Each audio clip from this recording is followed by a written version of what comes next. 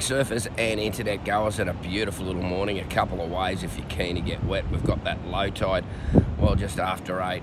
Uh, high tide around about just uh, before 4 this afternoon. Water temperature 21 degrees, and we've got northwesterly winds up already. They're going to go swing north and then northeast up to 15 to 20 knots. So you really want to get into it quick before that wind really makes a mess of it. There's a little couple of waves around. I reckon your beach breaks are your best go. Beaches right along the coast, spit all the way south to Palmy. Find a little bank, you'll get some fun. There's a couple of little banks around, but it is a bit of a junky north northeasterly wind swell out there. Now, uh, yeah, otherwise, yeah, up the corner at the Spit and the Tweed Coast back beaches will give you your cleanest option. Not too many options around, but, you know, there's a grovel out there if you're keen. Go and enjoy, and, uh, yeah, I'll catch you in the waves. Beautiful little sunrise.